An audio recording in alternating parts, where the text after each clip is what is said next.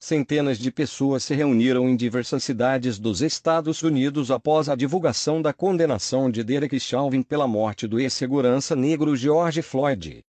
Veja o vídeo acima. Chauvin foi declarado culpado das três acusações de homicídio após ter se ajoelhado sobre o pescoço de Floyd por 9 minutos e 29 segundos.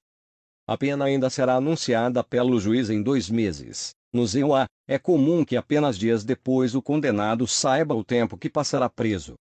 A sentença ainda será anunciada.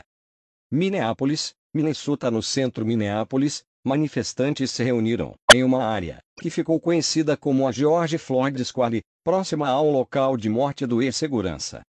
Flores e cartazes com justiça por George Floyd foram depositados dentro de um memorial erguido após a morte. Courtney Rose, namorada de Floyd, disse pouco antes do anúncio da sentença que a condenação de Chauvin seria o começo para um movimento maior. Washington DC na capital americana, manifestantes se reuniram em frente ao monumento de Martin Luther King Jr. e o Congresso do ZEUA após a condenação.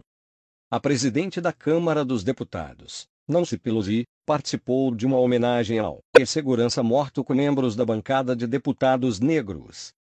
Brooklyn, Nova York Em Nova York, manifestantes comemoraram a condenação de Derek Chauvin em frente ao Barclays Center onde frequentemente acontece a concentração das marchas do movimento Black Lives Matter Vidas Negras Importam, na cidade.